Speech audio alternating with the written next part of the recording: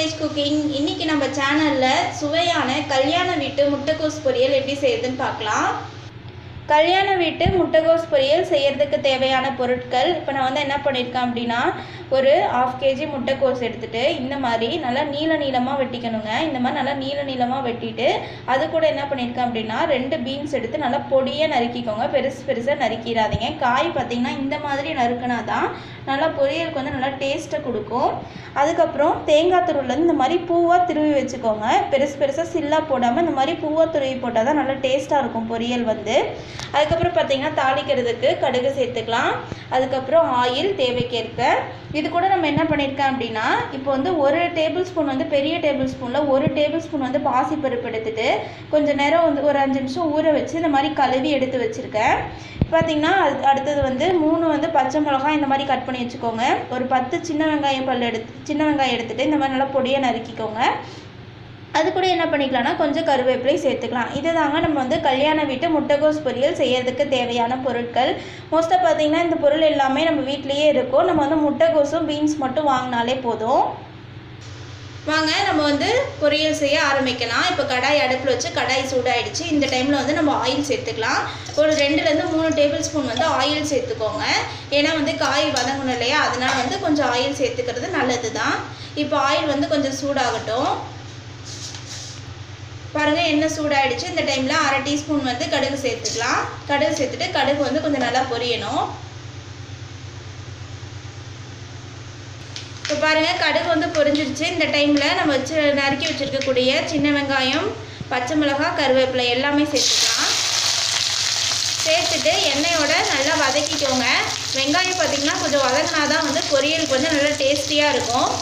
அதனால் இந்த மாதிரி கொஞ்சம் நல்லா வதக்கிக்கோங்க. பாருங்கள் இந்த மாதிரி கண்ணை வந்து வெங்காயம் பார்த்திங்கன்னா கொஞ்சம் கலர் மாறணும். இந்த டைமில் வந்து என்ன பண்ணிக்கலாம் அப்படின்னா நம்ம வந்து வேக நம்ம வந்து ஊற வச்சு எடுத்து வச்சிருக்கக்கூடிய பாசிப்பருப்பு சேர்த்துக்கலாம்.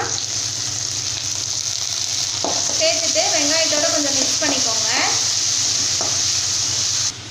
இப்போ பாருங்கள் இப்போ அடுத்து என்ன சேர்க்க போகிறேன் அப்படின்னா நறுக்கி வச்சுருக்கக்கூடிய முட்டைகோஸும் பீன்ஸும் சேர்க்க போகிறேன் இது ஆல்ரெடி நான் கழுவி வச்சுருக்கேன். அதனால் வந்து அப்படியே சேர்த்துக்கிறேன். இல்லைனா வந்து நீங்கள் கழுவிட்டு சேர்த்துக்கோங்க.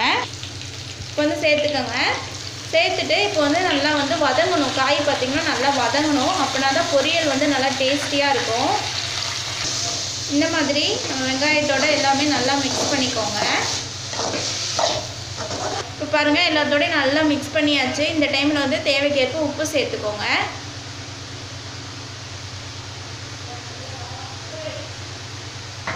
உப்பு சேர்த்துட்டு கொஞ்சம் மிக்ஸ் பண்ணிக்கோங்க காயோட. அப்படின்னா தான் உப்பு சாரும். இப்போ பாருங்கள் உப்பெல்லாம் சேர்த்துட்டு நல்லா மிக்ஸ் பண்ணியாச்சு. இந்த டைமில் காய் வதங்கிறதுக்காக காய்க்கு நம்ம எவ்வளோ காய் எடுத்துருக்கோமோ அதுக்கு தேவையான அளவு தண்ணி சேர்த்துக்கலாம்.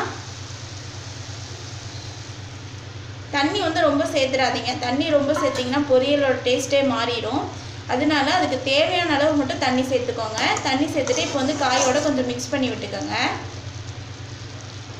இப்போ பாருங்கள் தண்ணி சேர்த்தாச்சு. இப்போ வந்து காய் வந்து கொஞ்சம் நல்லா வந்து வதங்கி வேகணும். அது வரைக்கும் ஒரு மூடி போட்டு மூடி வச்சிடலாம்.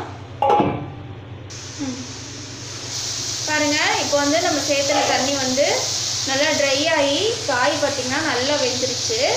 இந்த டைமில் நம்ம என்ன சேர்த்துக்கலாம் அப்படின்னா துருவி வச்சுருக்கக்கூடிய தேங்காய் துருவல் வந்து சேர்த்துக்கலாம். தேங்காய் துருவல் வந்து கொஞ்சம் நிறையாவே சேர்த்துக்கோங்க. அப்படின்னா தான் வந்து பொரியல் வந்து நல்லா டேஸ்டியாக இருக்கும். தேங்காய் துருவல் சேர்த்து காயோட கொஞ்சம் நல்லா மிக்ஸ் பண்ணிக்கோங்க. பாருங்க தேங்காய் துருவல் சேர்த்து இந்த மாதிரி நல்லா மிக்ஸ் பண்ணிக்கோங்க. அப்புறம் பொரியல் நல்லா இருக்கும். பாருங்க தேங்காய் துருவல் சேர்த்து பொரியல் நல்லா காயோட நல்லா மிக்ஸ் பண்ணியாச்சு. அவ்வளோதாங்க கல்யாண வீட்டு முட்டைக்கோஸ் பொரியல் ரெடி ஆகிடுச்சு இப்போ இந்த டைமில் ஸ்டவ் ஆஃப் பண்ணிடலாம். ஸ்டவ் ஆஃப் பண்ணிவிட்டு கடாய் கீழே இறக்கிக்கலாம் பாருங்கள் வீவர்ஸ் டேஸ்டியான கல்யாண வீட்டு முட்டைகோஸ் பொரியல் ரெடி ஆயிடுச்சு. பார்க்கவே சூப்பராக இருக்குது நல்லா கலர்ஃபுல்லாக இருக்கும் டேஸ்ட்டும் வந்து செம்மையாக இருக்கும். நீங்களும் இந்த ரெசிபியை வந்து உங்கள் வீட்டு கிச்சனில் வந்து ட்ரை பண்ணி பாருங்கள் ட்ரை பண்ணி பார்த்துட்டு பிடிச்சிருந்தா எங்கள் தமிழ் வில்லேஜ் குக்கிங் சேனலை லைக் பண்ணுங்கள் கமெண்ட் பண்ணுங்கள் சப்ஸ்கிரைப் பண்ணுங்கள் அப்படியே கீழே இருக்கக்கூடிய பெல் ஐக்கானையும் ப்ரெஸ் பண்ணிடுங்க